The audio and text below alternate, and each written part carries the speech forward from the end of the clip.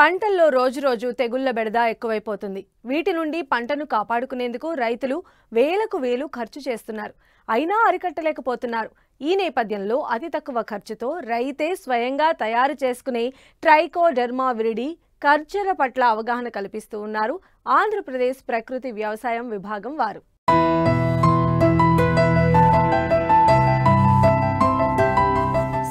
సంప్రదాయబద్ధంగా పండిస్తున్న అనేక పంటలకు సాగు మొదటి దశలోనే అనేకమైన తెగుళ్ళు సోకుతున్నాయి.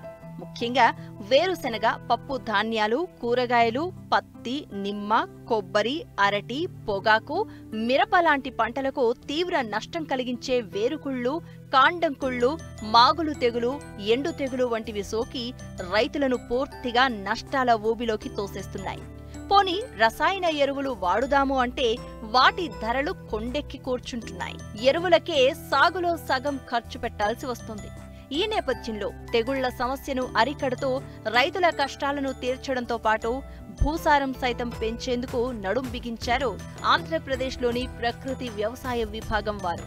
ఇందులో భాగంగానే ట్రైకోడెర్మా విరిడిని వినియోగించేలా శ్రీకాకుళం జిల్లా గార మండలం ఆరంగిపేట గ్రామంలో రైతులకు అవగాహన కల్పిస్తున్నారు. ఈ సంవత్సరం మన జిల్లాలోని అత్యధికంగా ట్రైకోడర్మా విరిడిని వినియోగించడాన్ని ఈ సంవత్సరం బాగా ప్రమోట్ చేస్తున్నాము. అయితే మిరప పంటలో మనకి ముఖ్యంగా వచ్చే తెగులు ఏంటంటే వేరుకుళ్ళు తెగులు మొక్క ఉండి సడన్గా ఒక రోజులోనే వాలిపో వాలిపోవటం అన్నది జరుగుతుంది. దానికి దాని నివారణకని మనకి ట్రైకోడర్మాని వినియోగించడాన్ని ఇక్కడ ఫాలో అవుతున్నాము. అయితే ఈ ట్రైకోడర్మా విరిడిని ఈ గ్రామంలోని ముందుగా నైరా కాలేజు విద్యార్థులు తయారు చేసిన విరిడి ప్యాకెట్లను ఇక్కడికి తీసుకొచ్చి వా ఆ ట్రైకోడర్మా విరిడిని గత్తంలో కలిపి అలాగే నారు నారు పెంచేటప్పుడు ఆ భూమిలో వేసి చేయటం జరిగింది. ట్రైకోడర్మా విరిడిని ఫిఫ్టీ పర్సెంట్ సబ్సిడీలో విశాఖపట్నం బీసీ ల్యాబ్ నుంచి తీసుకురావడం జరిగింది.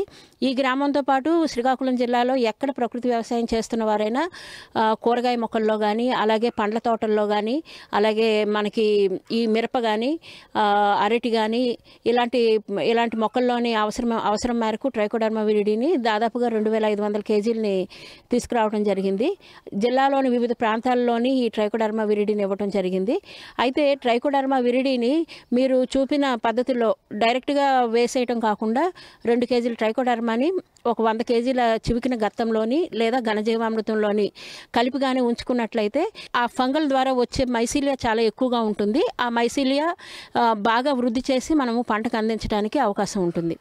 అయితే ట్రైకోడర్మా విరిడి వలన ఉపయోగాలను కానీ మనం చూసుకున్నట్లయితే ట్రైకోడర్మా విరిడి వేరు మీద అభివృద్ధి చెందుతుంది. మొక్క తాలూకా వేరు మీద అభివృద్ధి చెందుతుంది. ప్రతి మొక్క ఏంటంటే తన తన మొక్క మీద వేరే ఫంగల్ కానీ బ్యాక్టీరియా కానీ రాకుండా ఉండటానికి కొన్ని ద్రావణాలను ఉత్పత్తి చేస్తుంది. ఆ ద్రావణాలను కూడా ఎదిరించి ఈ ట్రైకోడర్మా అన్నది బాగా పెరుగుతుంది అనమాట అలాగే ఈ ట్రైకోడర్మా విరిడి మొక్కతోనే ఉండటమే కాకుండా మొక్కకి అవసరమైన రైజోబియం కానీ మైసీలియం కానీ అలాంటి వాటిని దేనికి దేనిని హార్మ్ చేయకుండా వాటిని ఈ ట్రైకోడర్మా విరిడి మైసీలియా అనేది పెరగటం జరుగుతుంది. చివికిన గత్తంతో పాటు వేయటం వలన మొదటగా భూమి ఆరోగ్యాన్ని కాపాడుకునే వాళ్ళం అవుతాము. అలాగే ఈ ఈ ట్రైకోడర్మా విరిడిని కూడా వేయడం వల్ల ఇది బయో ఫంగిసైడ్ కింద ఉపయోగపడుతుంది. ముఖ్యంగా వచ్చే ఫ్యూజేరియం ద్వారా వచ్చే విల్ట్ కానీ అలాగే డ్యాంపింగ్ ఆఫ్ కానీ రూట్ రాట్ కానీ వీటన్నిటి నివారణకి ఇది బ్రహ్మాండంగా పనిచేస్తుంది. అయితే ఈ ట్రైకోడర్మా విరిడిని మనం ఎలా వినియోగించుకోవాలంటే గత్తంతో కలిపి డైరెక్ట్గా భూమికి విని వినియోగించవచ్చు. లేదంటే కొంతవరకు స్ప్రే చేసుకోవచ్చు.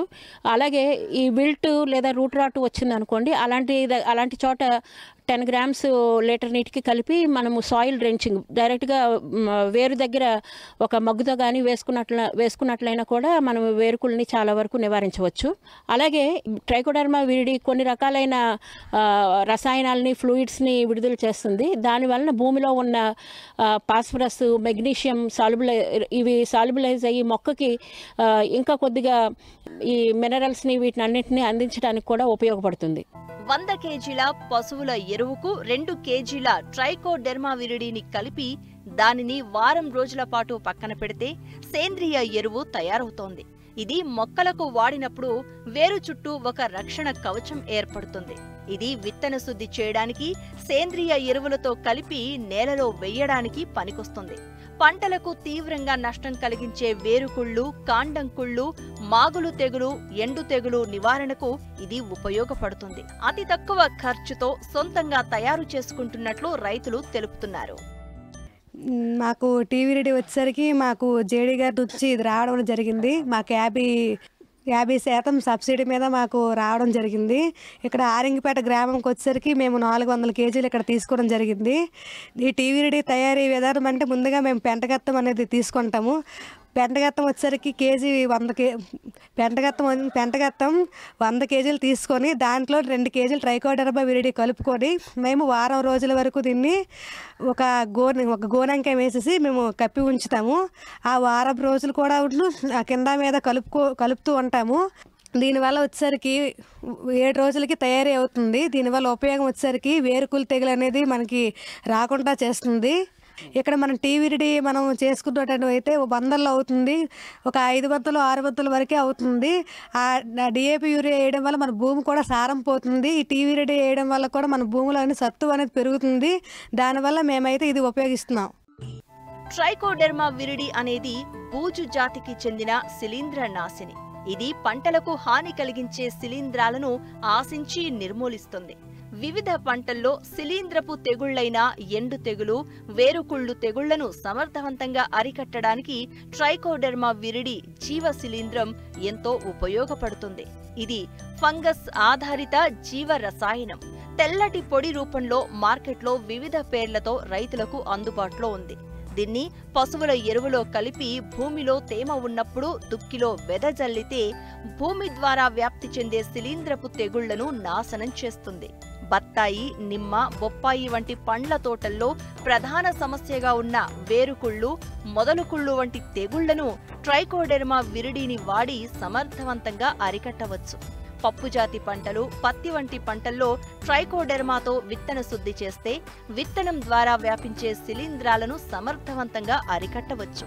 శిలీంద్రపు తెగుళ్ళు ప్రధాన సమస్యగా ఉన్న భూముల్లో ముందుగా ట్రైకోడెర్మా విరిడిని పశువుల ఎరువులో వృద్ధి చేసి తేమ ఉన్నప్పుడు ఆఖరి దుక్కిలో వేసినట్లయితే మంచి ఫలితాలు కనిపిస్తున్నాయి.